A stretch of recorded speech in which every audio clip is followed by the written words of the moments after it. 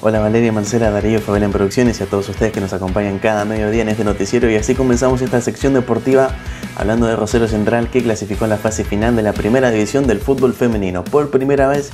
el equipo de Arroyito aseguró el pase en la instancia del torneo tras el empate conseguido este domingo ante Platense por 1-1. Seguimos hablando donde tenemos a la Argentina que derrotó a Bolivia y consiguió su primer triunfo en las eliminatorias de fútbol playa. El seleccionado argentino de fútbol playa derrotó este domingo, el día de ayer, a Bolivia por 5 a 0 y consiguió su primer triunfo en las eliminatorias sudamericanas para el Mundial de Rusia.